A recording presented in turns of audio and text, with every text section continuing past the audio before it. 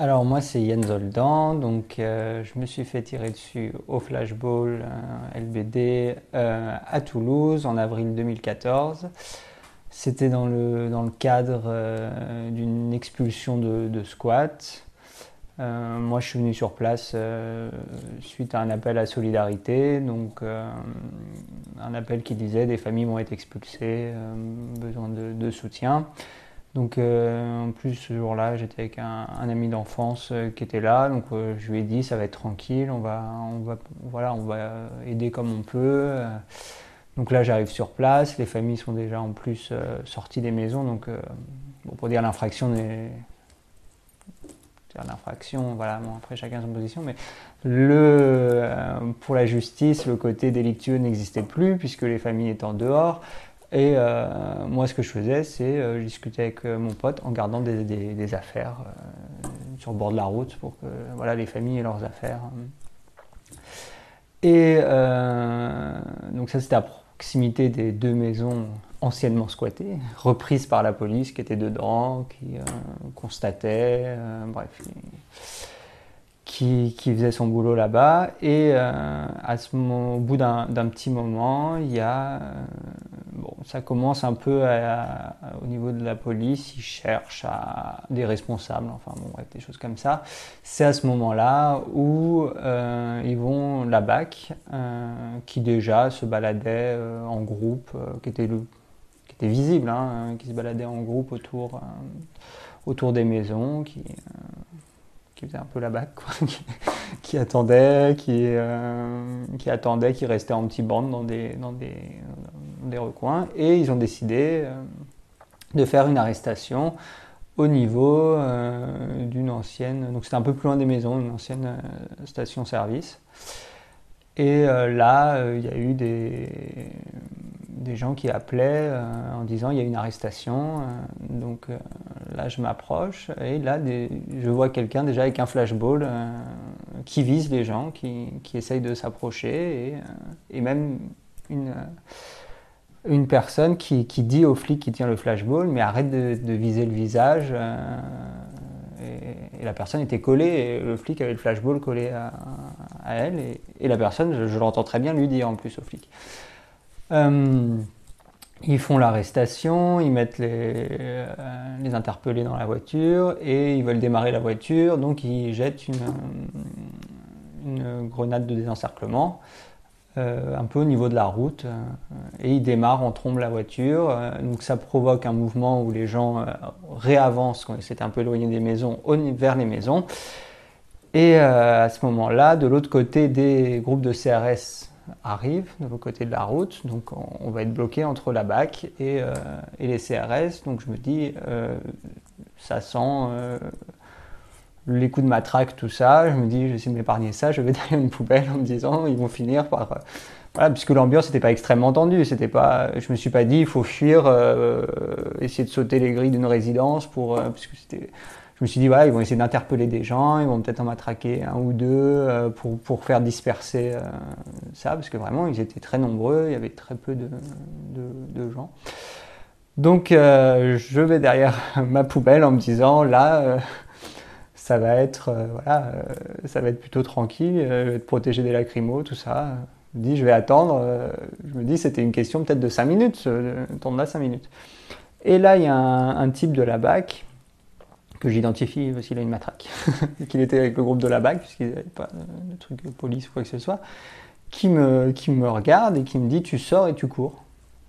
Euh, là, je me dis Bon, euh, ils veulent évacuer le coin, euh, il va falloir partir, ok.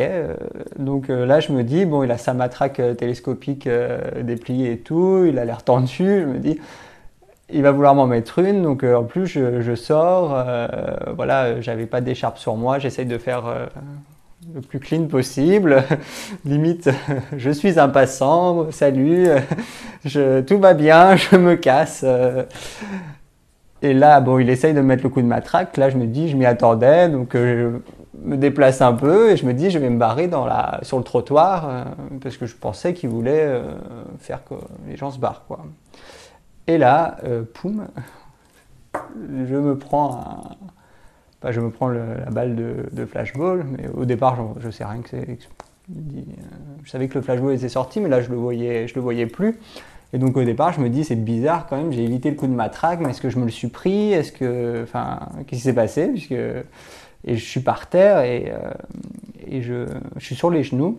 Je tombe sur les genoux et là, je, euh, ça a mis du temps même à, ce que je me dise est-ce que c'est un coup de matraque, est-ce que quelqu'un m'a frappé, tout ça. Au début, je, vois trouble et tout ça, et je me suis dit, euh, au début, je me suis dit, il y a peut-être un truc qui a explosé, tout ça, euh, parce que ça faisait vraiment, j'étais perdu, comme s'il y avait eu, comme si tout avait changé. En gros, tout l'univers avait changé, que les, puisque je voyais plus ma représentation du monde que j'avais juste avant. Donc je me suis dit, euh, au début, je me suis dit, putain, il s'est passé un truc grave du fait que je me que j'avais l'impression que c'était le chaos, quoi, en tout cas dans ma tête. Et euh, j'attends comme ça, euh, puisque je sais même plus où aller, puisque là, j'ai plus de conscience si la police est là, si elle n'est pas là, sur, sur le moment où je suis à genoux. J'attends. Et, je vais attendre là, perdu, puisque je ne savais plus quoi faire, ni me lever, ni partir. Voilà, ça a pris quelques temps. Et quand je commence à, reprendre mes esprits, je me, dis, ah, je me ressouviens que je suis dans un endroit où il y a la police, tout ça, donc je me dis, c'est peut-être soit un coup de matraque, soit un truc comme ça. Et là, je vais être relevé par quelqu'un qui va me dire, euh, avance, avance, et euh, je vais être conduit dans un appartement, conduit à l'hôpital, et arrivé aux urgences.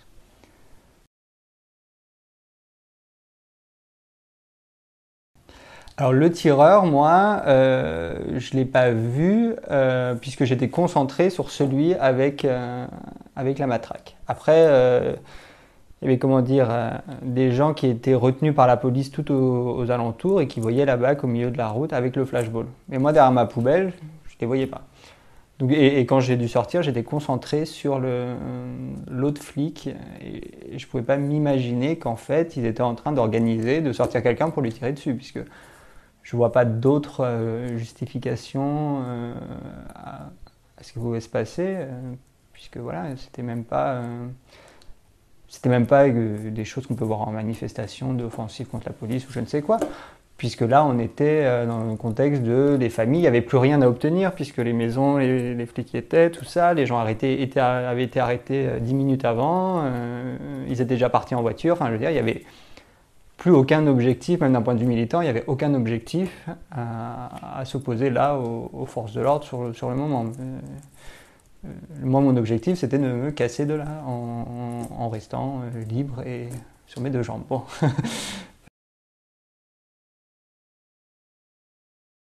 Pour euh, l'évacuation, là, je suis, sur, je suis à genoux.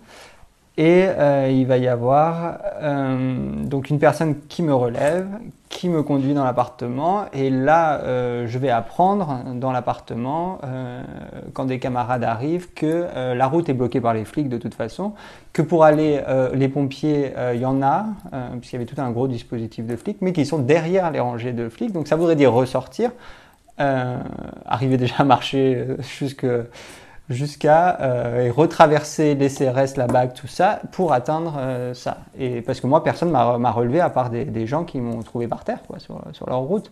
Et, euh, et un voisin qui a, vu la scène et qui, s'est dit, oulala, on tire sur des gens, et qui m'a amené à, à l'hôpital avec sa propre voiture par un parking qui était de, de, la résidence, un parking de la résidence qui était une rue derrière, parce que sinon, aucune voiture ne pouvait accéder, que ce soit les les pompiers, tout ça. Ils n'ont pas fait venir la voiture de pompiers jusqu'à moi, ce qu'ils auraient pu faire. Puisqu'ils bloquaient la rue, euh, ils enlevaient une voiture de flic et les, pompiers, je crois, étaient là. après ce qu'on m'a raconté, parce que moi, je n'ai pas vu tout, ça.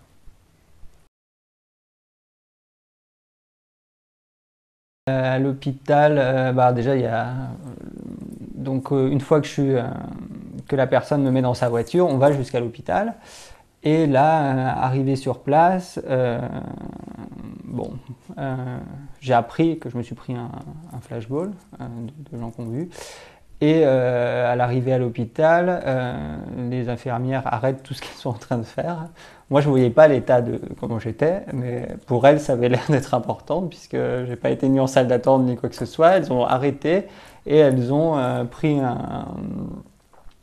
une chaise roulante m'ont assis dessus. Moi, j'ai failli me vautrer.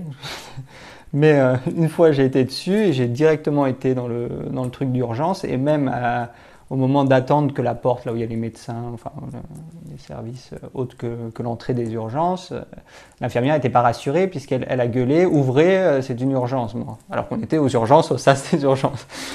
Et, euh, et, là, une fois sur place, euh, ça va être le médecin qui. Euh, moi, je suis un peu inquiet. Je me dis qu'est-ce qui se passe? Et il me dit euh, Bon, déjà, euh, vous êtes en vie, on va vous prendre en charge, vous n'allez plus avoir mal. déjà, concentrez-vous sur le fait que là, vous êtes en vie. Vous arrivez en vie aux, urgences. Et, il va revenir même. il va dire On fait un scanner immédiatement pour voir ce qui, se passe. Et il me dit Quoi qu'il arrive après, qu'on découvre, euh, sachez que là, à quelques centimètres près, vu comme ça détruit euh, des os euh, de, votre, de votre visage, c'était le cerveau et la, violence de la destruction, on n'aurait pas pu vous sauver, enfin vous seriez mort. Quoi. Me dit à quelques centimètres près, donc là je, me, je commence à réaliser qu'il se passe quelque chose de, sacrément grave. Et donc voilà, c'est le début des de ma nuit aux urgences. Donc euh, voilà, au départ, euh, premier truc qu'ils ont fait, c'est vérifier le cerveau. Qui m'ont dit qu'il n'y avait pas de séquelles au cerveau. C'est là où ils m'ont rassuré euh, que, j'allais vivre déjà. La première chose qu'ils me disent, c'est là, vous, vous allez rester en vie, vous allez ressortir des urgences. voilà. Euh, après, ils me disent on est, euh, on est le soir, on va attendre euh, et on va faire plein d'examens dans la nuit. Donc, ils vont faire des examens pour la vue, tout ça. Donc, ça touche pas, pas l'œil puisque c'est en dessous. Et après, ils me disent que le, je crois que c'est le lendemain, je vais faire, j'ai vu le maxi, enfin, la chirurgie maxillofaciale, je les verrai le lendemain puisque le, le soir même, voilà, ils, ils, ont fait des évaluations que qu'en gros il n'y avait, euh, avait pas de, fonction vitale touchée, qu'il euh, allait euh, falloir attendre. Et quand je vois la chirurgie maxillofaciale, ils me disent que qu'il va falloir attendre, que ça va être long, parce que il y a différents os brisés, que le problème c'est que en plus c'est pas coupé comme une fracture, c'est carrément explosé, donc ils savent pas trop comment ça va comment on va faire, mais bon, qu'il y aura des, il y aura des chirurgies et qu'ils regardent, qu'ils me disent que pour le moment en urgence on peut rien faire parce qu'il y a trop de sang, j'étais gonflé comme euh, et qu'ils peuvent pas opérer du tout dans ces conditions-là, et qu'il va falloir attendre que, tout ce sang s'évacue et, euh, et qu'on allait euh, voilà, réparer ces quatre os différents qui allaient avoir des, des opérations. Donc déjà c'est un premier mois d'attente attendre à, rien faire, à pas, pouvoir manger, enfin, si manger mixé, tout ça. Donc ça, ça va être à peu près le, premier mois, un mois et demi. Donc ça, et là, après, il fixe, euh, donc je les revois, il fixe une, opération. Et ça va être la, première opération où ils vont me mettre euh, des plaques euh, pour consolider le visage et euh, essayer de faire quelque chose. Euh, voilà, a, ce qu'ils disent, ce qu'ils me répètent, c'est on n'a pas l'habitude de voir ça. À Toulouse, ils voient les blessures du rugby, des choses comme ça, mais en gros, ça se casse, on, met une petite plaque, ça peut aller. Enfin voilà, c'est là le problème, c'est qu'il manque des, des des choses comme ça. Donc bon, après eux, ils sont assez optimistes, ils disent ça va aller. Donc ils me disent une plaque au départ, après il y a l'opération. Finalement l'opération qui devait euh, durer, je ne sais pas, peut-être une heure, a duré euh, plus. Je ne sais plus exactement euh, à quel point ça a duré plus, mais enfin moi je me retrouve avec pas une plaque mais trois plaques, avec plein de petites vis partout. Et ils disent euh, bon, ben, que maintenant euh, ça va aller mieux, qu'il euh, faut réattendre un mois pour manger tout ça. Et, et en gros, ils verront la suite. Donc bon, ben, j'attends. j'attends, je, je, mange mixé encore, tout ça. Et puis, bon, pour eux, au niveau des os, ça se solidifie bien, tout ça. Mais ça ne dégonfle pas complètement. Enfin, il reste un, il reste un endroit où c'est gonflé, ça c'est anormal, et il va y avoir euh, par la suite, euh, je vais faire des, infections de, la gorge, tout ça, de toute cette zone-là, euh, qui vont m'amener une première fois aux urgences pour un phlegmon qu'il fallait opérer en urgence. Après, ils me disent, bon, ça peut arriver, une infection comme ça. après, il va y avoir, ça va revenir, ça va pas s'arrêter, ça va revenir, tout ça. Euh, et je revois le, chirurgien, je lui explique, bon, ça va changer de chirurgien, tout ça, bon, ça. Et il me dit, bon, déjà, c'est pas normal que ça soit gonflé, qu'il y ait des, les infections, c'est peut-être pas lié à ça, ou ça peut, ou pas lié, comment dire, peut-être pas lié au tir, ça je dis pas que c'est lié directement au tir, mais c'est lié au fait qu'on ait fait une chirurgie euh, dans la bouche, qu'il y ait eu des, qui a eu, que ça a été ouvert euh, déjà un premier mois avant d'opérer, donc ça veut dire euh, des risques d'infection. Après la première, première opération, encore des risques d'infection. Bon, bref, que ça peut avoir, en, tout cas, bon, voilà, de se faire opérer, de se faire ouvrir comme ça, ça, ouvre la porte à de nombreuses infections. Et donc après, on va me retirer, on va décider de me retirer les plaques. Entre temps, on va aussi, je crois bien que c'était avant, me retirer les amygdales puisque les infections ne s'arrêtent pas. Donc, donc euh, on va me retirer les amygdales. Et euh, dernière opération qui va être de me retirer euh, les plaques. Parce que, bon, normalement, on peut les garder à vie. C'est pour ça que je dis qu'il va falloir que c'est.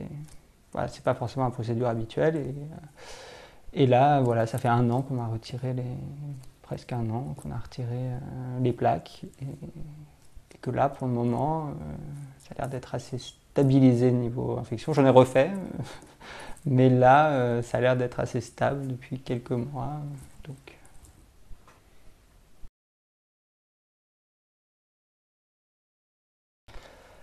Alors aujourd'hui, dans mon quotidien, euh, ça a changé des choses euh, dans mon rapport bon, à la, sensation que j'ai une partie là où, j'ai une sensation de, pas comme si on touchait la peau, c'est des, picotements, des choses comme ça. Ça, euh, ça c'est au niveau des sensations euh, physiques. Après,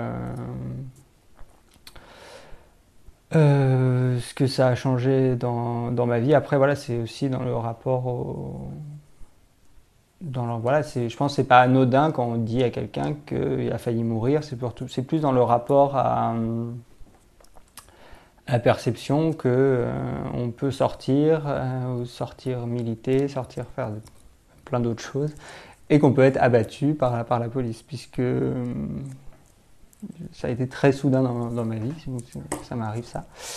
Et euh, donc voilà, surtout ça que ça a changé depuis que là j'ai arrêté les opérations. si j'espère ça continue comme ça, voilà, les, euh, séquelles sont plus au niveau de.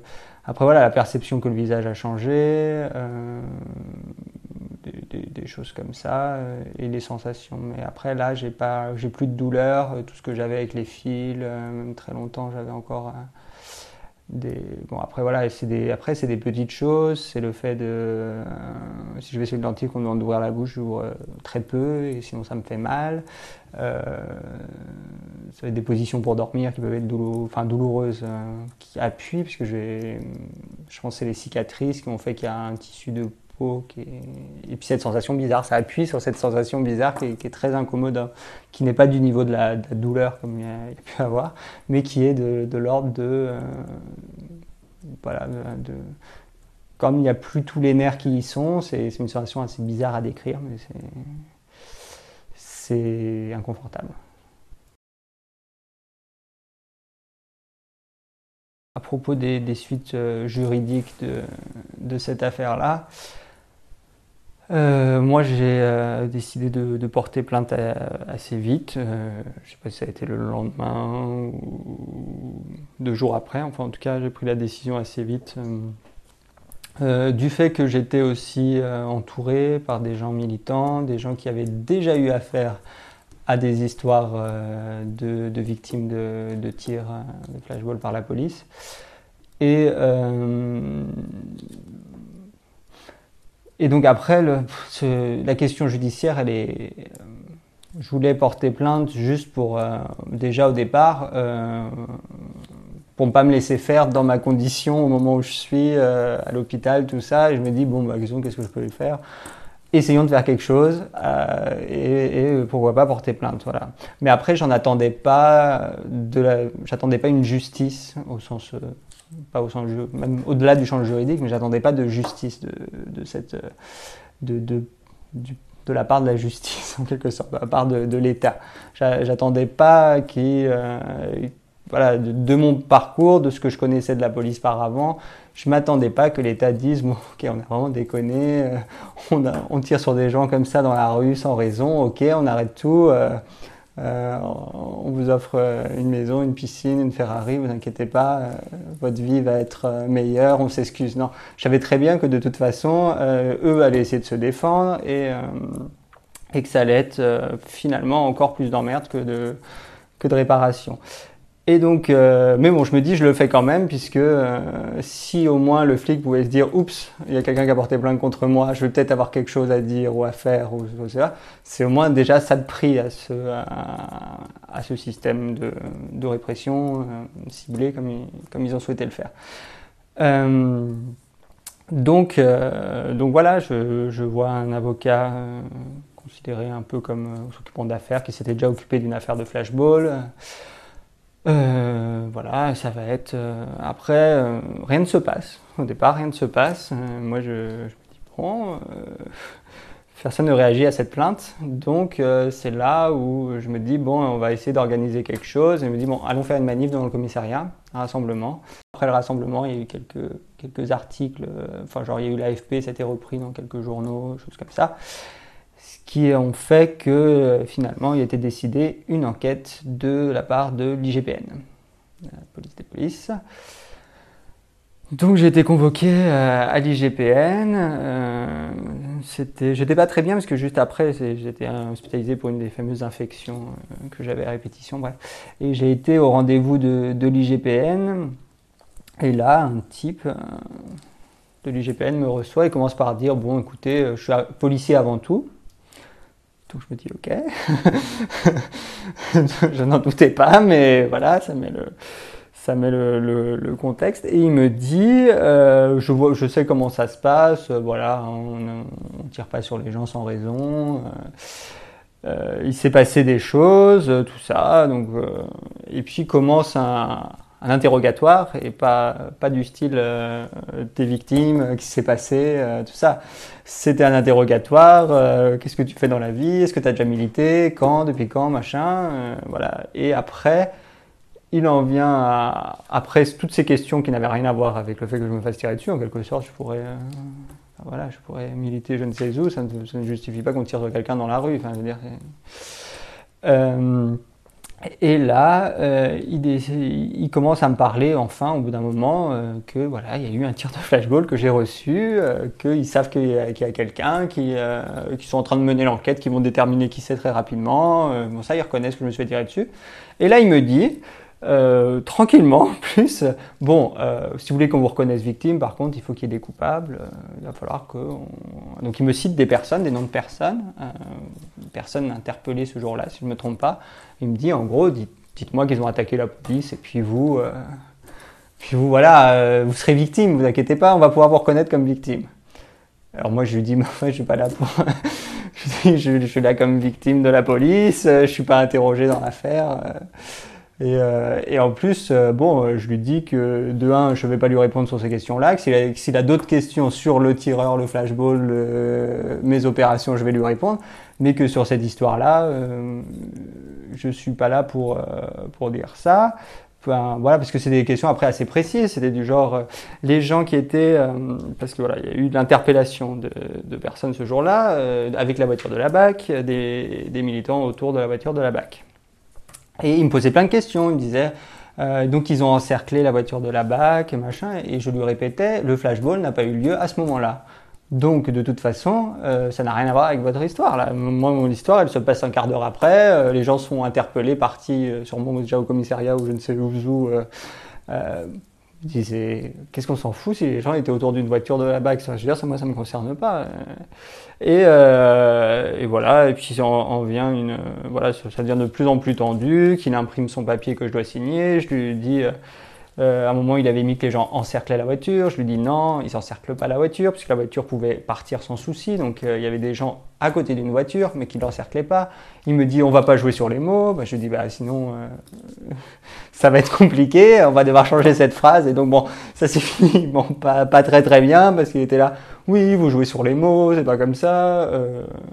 Parce que je lui disais déjà que, un, que je savais pas si c'était des militants, que blablabla. Et puis, euh, Mais bon, au départ, il avait même essayé de me dire écoutez, vous, avez pu être victime, il y a des gens très dangereux derrière ces organisations qui pourraient même s'en prendre à vous, des trucs comme ça. Euh, euh, moi, je leur dis je m'en fous, c'est pas la question du jour. Et voilà, je leur dis moi, je connais pas de qui vous me parlez, vous me. Voilà. Et donc, en sortant de là, j'avais très peu d'espoir d'être reconnu comme victime de, la police. Donc, euh, donc euh, là, j'attendais le rapport de l'UGPN euh, avec fatalité, en quelque sorte, sur, ce qu'ils allaient répondre. J'ai eu par l'avocat le rapport de l'IGPN. bon, alors, il y a la question de qui a tiré, puisque celui qui dit qu'a tiré, c'est le responsable du groupe de la BAC. Euh, est-ce que c'est lui qui a tiré? C'est vraiment pas sûr. Parce qu'il y, en avait, ils se sont passés les flashballs à plein, il y en avait très peu qui étaient habilités à l'avoir déjà. Donc euh, ça, c'est déjà un problème. Euh, après, le rapport se conclut par une, phrase qui est que c'est de la légitime défense en, en, raison du contexte et en plus puisque je suis connu des services de police comme euh, écologiste euh, radical, qui mettent ça. Donc là, euh, alors ça, ça m'a fait bizarre à la lecture. Bon, je, m'attendais à ce qu'ils racontent leur bazar, comme quoi ils avaient mis voilà, des trucs juridiques, qui disent qu'ils ont mis leur brassard, ils l'ont pas mis. Bon, bref, ça, je m'attendais qu'ils s'arrangent sur tout ça, qu'ils disent qu'il y a eu des jets de projectiles, puisque de toute façon, dans toutes les affaires, il y a des jets de projectiles. Bon, là, il y a eu des jets de projectiles, paraît-il.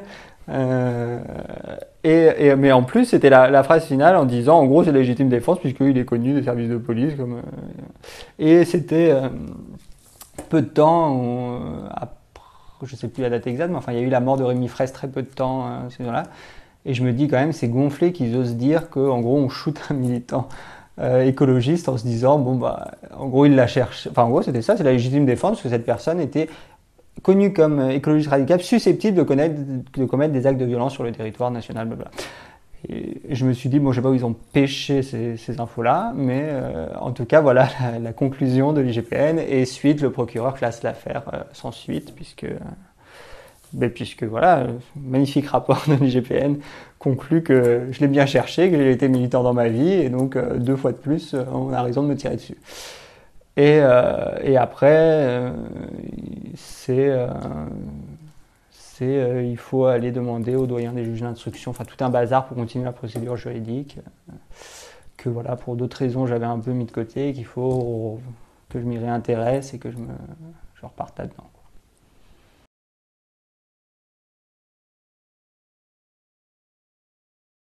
Alors au niveau des, des médias, euh, au début il y a eu juste euh, Mediapart qui a fait une euh, voilà qui a, qui a, fait des articles qui étaient, qui étaient très bien sur sur l'utilisation du flashball, dans quelles conditions, bah, voilà, enfin des articles au départ assez général. Enfin il y a eu ça.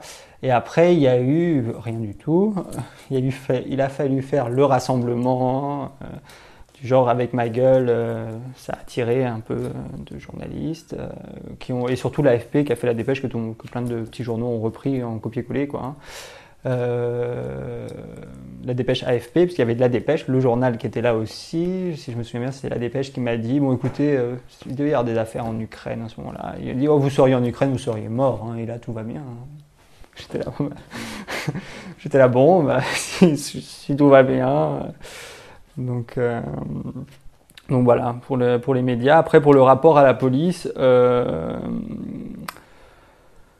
euh, j'avais déjà eu d'autres précédents avec la police de convocation, une garde à vue, qui avait été voilà, sur une affaire qui n'avait pas. Enfin voilà, il n'y avait pas eu de jugement ni rien, mais bon, on avait voilà, j'étais militant dans, dans différentes choses. donc voilà, j'avais déjà fait, j'avais déjà vu la police venir chez moi faire des perquisitions, faire des perquisitions chez mes parents disons, je pense que c'est vraiment les perquisitions, c'est à ce moment-là où ils fouillaient toutes mes affaires, ma vie privée, mon ordinateur qui se foutait de ma gueule en regardant les trucs. Enfin, là, j'avais compris que, bon, déjà, j'ai pas beaucoup d'illusions, mais là, la police, j'avais déjà compris euh, jusqu'où ils pouvaient aller. Euh, pour aucune raison, à part en gros qu'on arrête un, mouvement de protestation contre un laboratoire pharmaceutique. C'était ça à ce moment-là. Euh, donc je savais déjà qu'ils pouvaient aller très loin juste pour faire ça, euh, que ce soit l'antiterrorisme ou compagnie. Bref, ils pouvaient faire des, choses comme ça.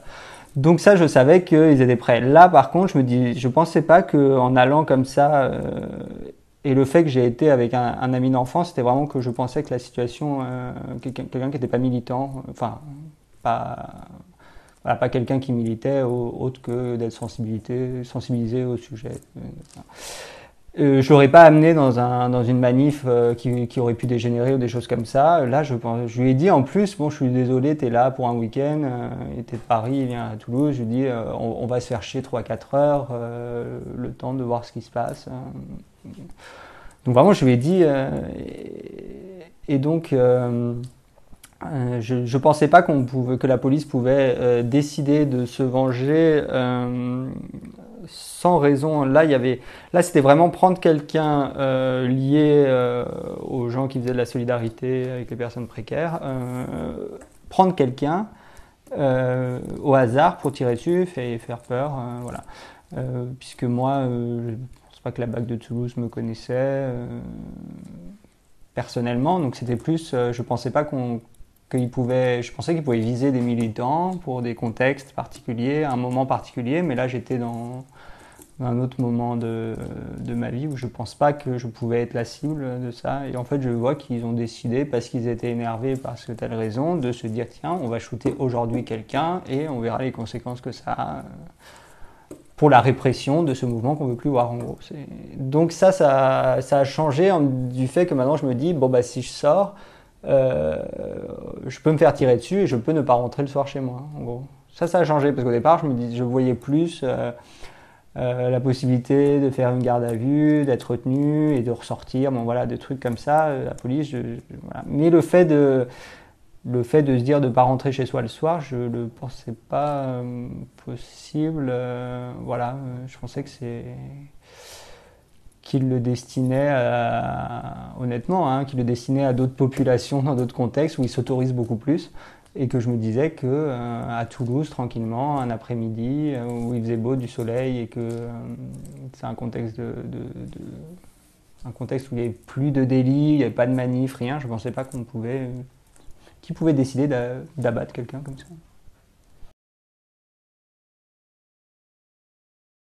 Ouais, ça. Alors vis-à-vis des proches et de l'entourage, il y a des, choses qui, il y a des choses qui changent. Il y a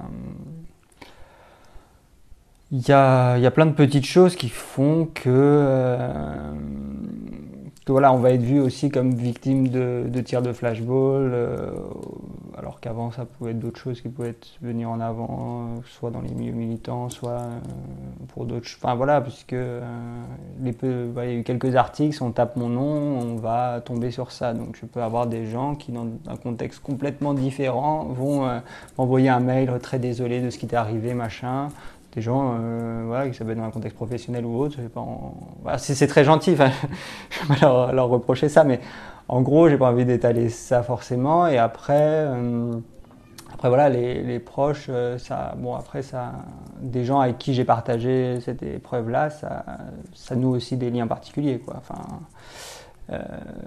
Quand, voilà, quand il y a des gens qui, accompagnent dans ces moments-là, c'est des moments importants. Euh, on est très vulnérable et qu'il y a des gens euh, qui sont là, qui, sont restés devant la porte de l'hôpital pour pas que les flics viennent faire chier jour et nuit, enfin des choses comme ça. Voilà, ça, c'est des choses de voir que voilà, il y a eu de la solidarité qui s'est mise en place de la part des, des militants. Ce ce qui, en quelque sorte, cette solidarité, je pense qu'elle est super importante. Euh, rien que le fait, par exemple, d'être relevé, pas laissé sur, le trottoir ou des choses comme ça, c'est quelque chose qui, est extrêmement marquant sur le fait de comment voilà, la solidarité permet de, s'en sortir de je ne sais pas ce qui aurait pu arriver autrement.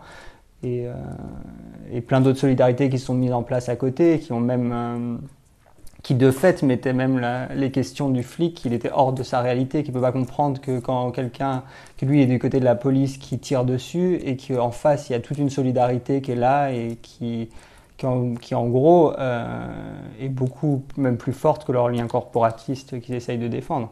Et ça, je pense qu'il n'a pas du tout mesuré ça en, demandant de dénoncer d'autres personnes, de choses comme ça.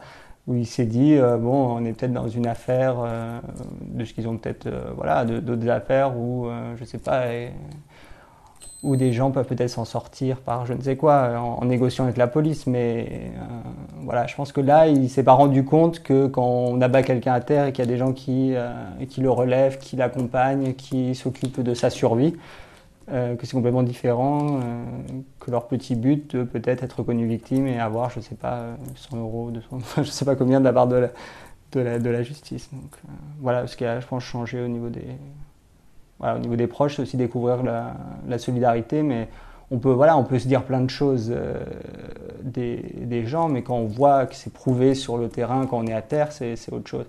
Et après, voilà, après, ça a aussi euh, choqué beaucoup de monde, euh, de gens de mon entourage qui ont été extrêmement choqués de voir, euh, de voir ça, de mes amis, de mon ami d'enfance qui était là, enfin, qui n'était pas forcément venu pour voir ça. Enfin, voilà, c'est. voilà, je, peux mesurer. Le, il m'en parle pas forcément, mais j'ai pu mesurer aussi dans l'entourage que ça pouvait faire de de, tirer sur quelqu'un et de, le, pouvoir le laisser pour mort dans la rue. Enfin voilà, ça, ça a des, des incidences sur, eux et leur, leur, vie aussi. Quoi.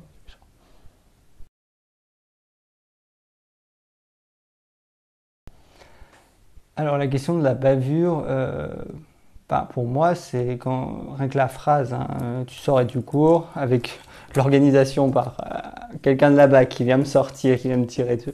Enfin, je vois pas en quoi ça peut être considéré comme une bavure. Euh, je sais pas, une, bavure, c'est il glisse sur une banane et il shoot je ne sais quoi euh, avec son flashball. Oui, ça, ça serait peut-être une bavure. Euh, je sais pas, il tue un pigeon en tirant avec son flashball. ça, c'est une bavure. Je pense qu'il n'a pas prévu de, de shooter je ne sais quoi. Par contre, là, il vient de sortir quelqu'un euh, c'était limite à me tenir et à me tirer dessus. Ouais, la bavure, il faut, je pense que pour, eux défendre euh, cette idée ou les gens qui se font l'idée qu'il existe des bavures de la police, euh, voilà, il faut, il suffit de regarder ce que fait la police. Les, gens qu'elle abatte, qui en meurent, c'est presque tout le temps dans le dos, des bavures, de tirer sur quelqu'un dans le dos. Enfin, c'est bavure, c'est un, gamin de 5 ans qui prend un pistolet et qui tire sur quelqu'un et qui le tue. Euh, ça, c'est une bavure. Il n'avait pas à avoir une arme, euh, je sais pas. C'est un accident. Mais la bavure, c'est un peu l'accident professionnel. Mais il n'y a pas d'accident professionnel. Il y a un but. Euh, enfin, pour eux, il y a un but, une, visée et une cible, sûrement au hasard ou, enfin au hasard, au hasard d'une population qui, qui déconsidère, comme les militants ou d'autres populations. Mais voilà. Donc je vois pas de, je vois pas de bavure. Sinon, euh, s'il y avait des bavures policières, euh, il y aurait des, euh, des gens du 16e arrondissement qui se prendraient des tirs de flashball par hasard, puisque bon, ils en tirent tellement qu'il devrait y en avoir dans certains lieux, dans tous les lieux, si, si tout le monde était visé de la même façon et qu'il y avait des bavures. Mais sauf que c'est dans les quartiers populaires, c'est dans les, chez les militants, c'est machin. C'est des lieux qui, qui, où ils s'autorisent ces fameuses bavures, qui s'autorisent à tirer. Ils s'autorisent, euh, mais ils s'autorisent pas sur tout le monde, sinon, euh, sinon peut-être que, ça inquiéterait tout le monde. mais voilà, ce qui s'autorise, je pense que ça. Voilà, c'est quand même bien défini euh, selon une organisation politique de, de qui est admissible d'être sur le territoire et qui est qu'on peut vivre sans et s'en débarrasser euh, s'il faut. Il y a quand même toute une illusion démocratique qui est là, qui, fait qu'on voit euh, les méchants, ils seraient, euh, ça dépend de la géopolitique, soit ils sont des dictateurs,